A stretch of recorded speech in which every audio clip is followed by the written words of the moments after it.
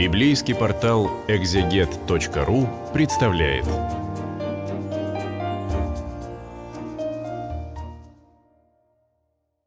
Здравствуйте, братья и сестры, все любящие чтение Слова Божия. Мы продолжаем с вами исследование книги Иова на библейском интернет-портале exeget.ru. И сегодня мы с вами рассмотрим 21 главу. Отвечал Иов и сказал, «Выслушайте внимательно речь мою, и это будет мне утешением от вас. Потерпите меня, и я буду говорить, а после того, как поговорю, насмехайся. Разве к человеку речь моя? Как же мне и не малодушествовать? Посмотрите на меня и ужаснитесь, и положите перст на уста, Лишь только я вспоминаю, содрогаюсь, и трепет объемлет тело мое. Почему беззаконные живут, достигают старости, да и силами крепки. Дети их с ними перед лицом их, и внуки их перед глазами их, дома их безопасны, от страха и нет жезла Божия на них. В 21 главе Иов отвечает своим друзьям, и в частности Сафару, которые обвиняют его и стараются убедить в том, что тот человек, который живет благочестиво, значит, он неизменно должен жить в достатке. А так как у тебя достаток, говорит Сафар Иову, утрачен, дети твои умерли, дом твой рухнул, здоровье пошатнулось, то это причина того, что ты где-то согрешил. Но Иов отвечает своим друзьям и говорит, посмотрите на людей нечестивых. И так эта речь его продолжается с 1 по 27 стих. Говорит Иов, посмотрите на людей нечестивых, а они благоденствуют. Как мы здесь и прочитали, дети с ними перед глазами их, внуки их перед глазами их, дома их безопасны от страха, нет жезла Божия на них. Вол оплодотворяет и не извергает, корова их зачинает и не выкидывает, как стадо выпускают они малюток своих, и дети их прыгают, восклицают над голосом, тимпаны и цитры веселятся при звуках свирели. То есть он говорит, что все обвинения Сафар, которые друзья приводят по отношению к Иову, они несостоятельны, потому как очевидно, что, богате, что благоденствуют и богачи, и нечестивые.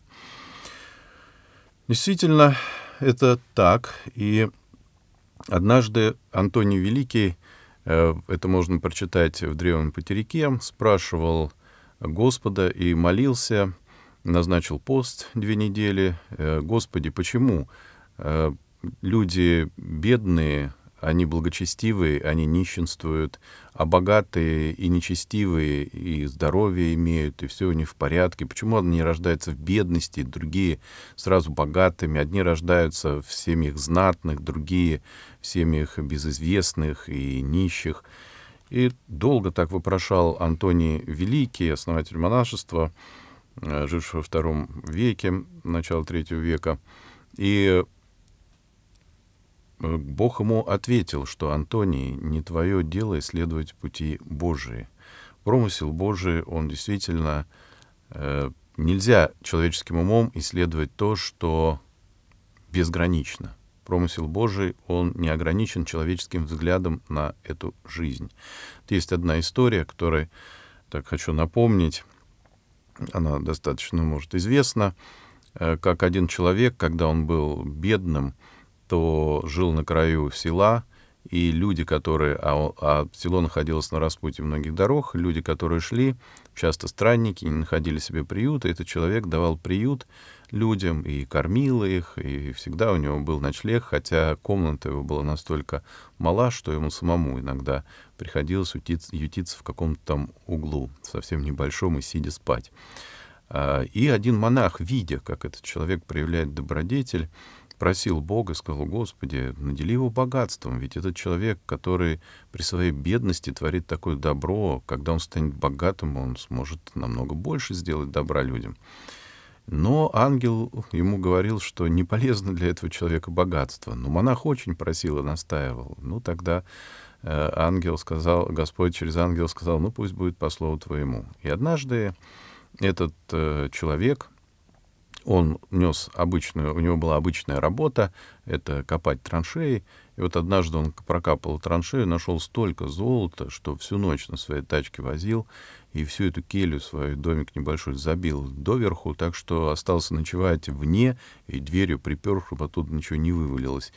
И поутру он нанял, естественно, повозки ушел в страну далече, в такую страну, в богатую. Ну, конечно, с такими деньгами его приняли в этой стране и даже возвели в какую-то там должность, потому что он сделал огромный вклад. И тогда когда он стал таким богатым и знаменитым вельможей в той стране, то он ехал на слоне в очередной раз, вкушая там какую-то еду, за ним шли люди с подносами, и тогда, когда нищие у него просили, он бросал у них кости и камни, и заставлял своих слух их разогнать. То есть он стал настолько жадным, что даже куском хлеба не хотел поделиться э, с теми людьми, которые у него просили. И тогда Господь, монах это увидел, который просил, дай ему богатство, и ужаснулся. И тогда Господь явился ему и сказал, видишь, я же говорил, чтобы тебе это не полезно. И тогда монах начал просить, чтобы Господь спас его душу и не погубил его в, таком, в такой жадности. Господь исполнил молитву снова монаха, и этот человек снова стал бедным, и опять он стал пускать в свой дом людей, и опять он стал делить с ними кров, и опять стал делить последний кусок хлеба. Поэтому пути Господни мы не знаем, они неисповедимы как Господь кого ведет. Как сказано о том, что богатых и людей, которые нечестивые, Господь сохраняет для определенных э, целей. Первое, конечно же, чтобы Бог желает всем спастись. И хочет и этому человеку дает шанс на покаяние, может быть, в последний момент своей жизни он покается. Но некоторых, как говорят отцы, сберегает и для суда. Так, таков промысел Божий. Сидите Григория Великого, интереснейшее истолкование по этому поводу. Он пишет, «Потерпи меня, и я буду говорить, а после того, как поговорю, насмехайся». То есть это толкование на первые стихи книги Иова. Затем, что перед словом, э, заметим, пишет, что перед словом э, потом насмехайся, стоит слово покайтесь. Действительно, в вульгате, э, в переводе звучит так потерпите меня и покайтесь, я буду говорить, а послушайте, а когда послушаете, тогда выслушайте, тогда насмехайтесь. Затем, что перед словом «покайтесь» в вульгате, он поставил слово «послушайте», а перед словом после того, как поговорю, насмехайся. Он сказал «потерпите». И понятно, ибо слушать — дело желания, а терпеть — нежелание. И далее, так и друзья его. Если желают быть наученными, пусть слушают. Если же готовы осмеять, пусть потерпят то, что говорится. Для горделивого ума наставление в смирении есть тяжкая обуза. Очень интересное заключение, конец цитаты.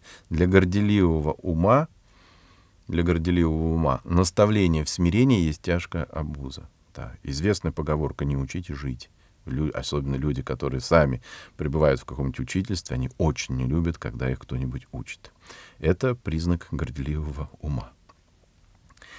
А, действительно, вот если читать древний патерик, отечник, составленный свидетелем Игнатием Брянчаниновым, там с первых страниц начинается о жизни Ава Антония и его поучений.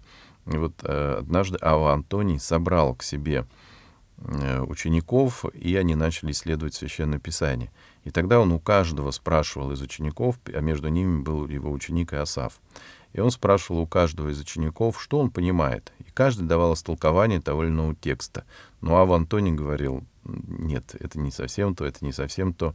И тогда он у Исава спросил, а что ты думаешь по этому тексту? И его ученик, инок Исаф, ответил, не знаю. И тогда Ава сказал, что он истинно познал, что есть истина, потому что он сказал «не знаю». Иногда действительно мы хотим все своим умом и промысел Божий, и все тайны Божии, которые есть в этом мире, познать. Вот когда мы говорим «не знаю», это действительно проявление истинного смирения. Некоторые вещи, которые мы читаем с вами, книга Иова, и Иов, кстати, об этом говорит, «и я не знаю, почему я терплю такие страдания».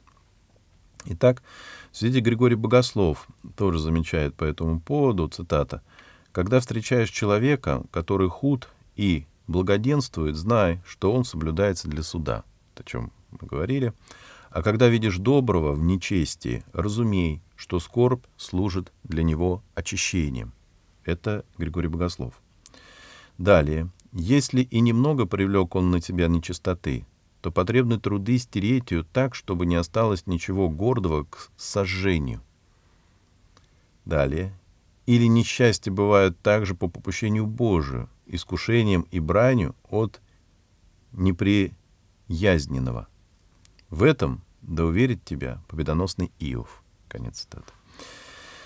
Далее мы видим, что есть еще интереснейшие слова. Здесь Иов, как я уже сказал, с 1 по 27 стих говорит, что почему богатый благоденствует.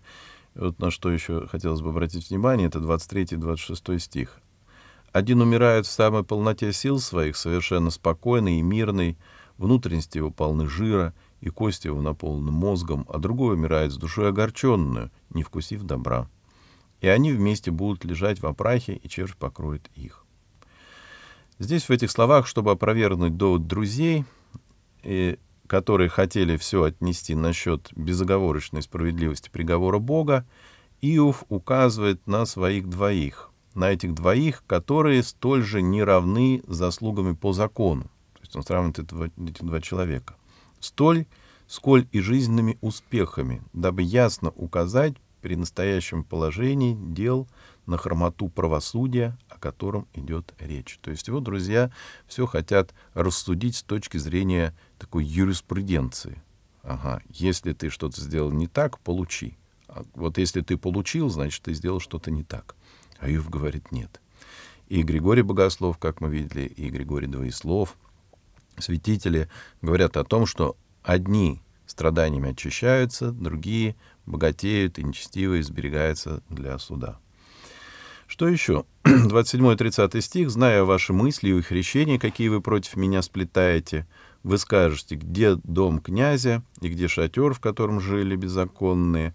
Разве вы не спрашивали у путешественников и незнакомых, э, и незнакомы с их наблюдениями, что в день погибели пощажен, бывает злодей в день гнева, отводится в сторону. Так спрашивает Иов. Вот что пишет э, э, святитель Григорий Великий, да, твои слов. Цитата. «Люди некрепкие, стремящиеся в этом мире к, процветя... к процветанию, как великого зла, боятся бичевания. А когда видят претерпевших скорби, вину их соизмеряют с наказанием. Если видит кого наказанным, то считают, что он не угодил Богу. Потом друзья блаженного Иова, видя, что он наказан, поверили в его нечестие, то есть они считали, что он, не будь он нечестив, остался бы и в шатрах своих.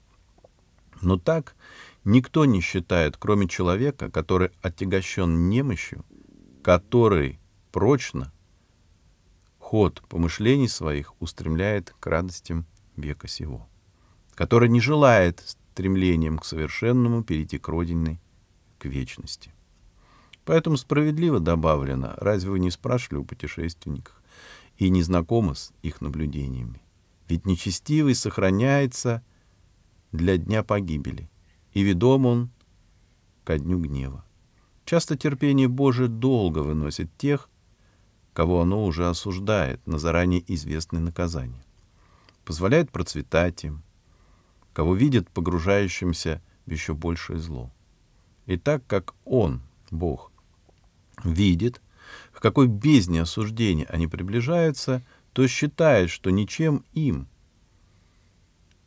ничем им не даст то обстоятельство, что они здесь умножают беззаконие, которое должны были оставить.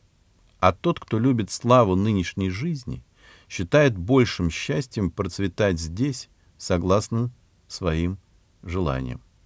Хотя потом ему придется терпеть вечные муки. Смотрите, как заключает. И лишь тот не видит ничего особенного в том, что нечестивый процветает, кто уже отвратил сердце свое от любви к нынешнему веку. Путешественником, конечно же, назвал тот, назван тот, кто полагает, что теперешняя жизнь есть для него только путь, но не родина. кто не прилепляет сердце свое в любви ко всему, что проходит мимо, кто не стремится остаться среди мелькания вещей, а жаждет перейти к вечности. Конец цитаты. так пишет Григорий Двоеслов. Тот, кто ищет вечности, не задается этими вопросами. Почему, благо... Почему благоденствуют нечестивые и богатеют? Светлян Златоуст пишет, цитата, «Не считай блаженными людей богатых, одерживающих победу над врагами и получивших за это похвалы. Все это опасные пропасти для невнимательных, увлекающие в самую глубину нечестия». И еще преподобный Исидор Пилсиот, цитата, «Если же надмевает тебя неправедное собранное богатство, то оно скоро изблюется тобою, потому что по природе своей течет и не постоит на месте. А ты, имеется в виду, надеющийся на богатство, будешь посмешищем, прилепившись к приходящему, как к чему-то постоянному. Конец цитаты. Мы видим, что отцы церкви и Иов призывает многострадальный всякого человека не прилепляться к тому, что здесь, на земле, временно. Помним слова Господа нашего и Спасителя Иисуса Христа, который так и призывает нас. «Ищите прежде Царствие Божие, а все остальное приложится вам».